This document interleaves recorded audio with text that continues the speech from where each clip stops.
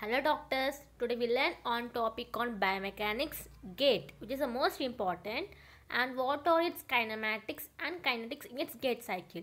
As we know the picture showing a red signal to the leg it implies the gait cycle that is your heel strike, heel off, heel strike, uh, flat foot, mid stance, heel off and toe off.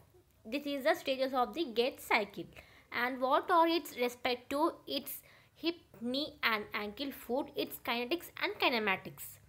Let I discuss in its tabular form and you can also write an exam very simply. When coming its stance phase on hip, kinematics, kinetics. Your kinematics from heel strike to foot flat, it is in 30 degrees of flexion and the muscles involved in kinetics are your gluteus maximus, erector spinae and hamstrings. Foot flat to mid stance, 30, 30 degrees of flexion, gluteus maximus at the beginning. And mid stance to heel off, extension, no activity. And heel off to toe off, there will be 10 degrees of hyperextension to the neutral.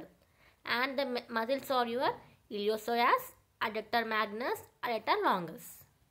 When coming into the knee stance phase, heel strike to foot flat, kinematics 0 to 15, de 15 degrees flexion and kinematics. Initially there will be an quadriceps to hold the knee in extension and then uh, eccentrically to be opposing.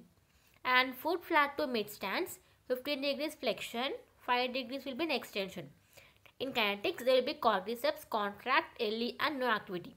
Mid stance to heel off 5 flexion neutral no activity.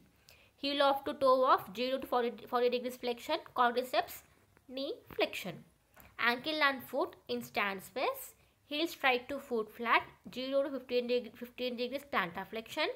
And kinetics tibialis anterior which will be opposite to the plantar flexion. And foot flat to mid stance there will be a kinematics of plantar flexion to dorsiflexion. And the muscles are your gastrocnemius and soleus to be opposing the dorsiflexors. And mid stance to heel off dorsiflexion movement in kinetics has same as above like gastrocnemius and soleus to be opposite the dorsiflexion.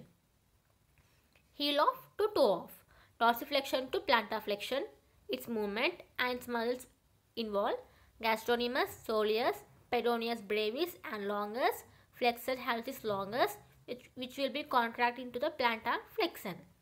Next coming into its hip in swing phase that is acceleration and deacceleration in mid swing acceleration to mid swing it in kinetics in kinematics it is in flexion movement and the muscles in kinetics are iliopsoas rectus femoris gracilis sartorius tensor fasciae lata. And in mid swing to deceleration flexion to neutral hamstrings. In knee swing phase acceleration to mid swing the movement will be in flexion and the muscles are quadriceps, biceps femoris, gracilis, sartorius. In mid-swing to deceleration, in kinematics, there will be an extension. Quadriceps will be contracting concentrically to stabilize the knee extension for heel strike. Ne next in knee, that is your ankle and foot in swing phase.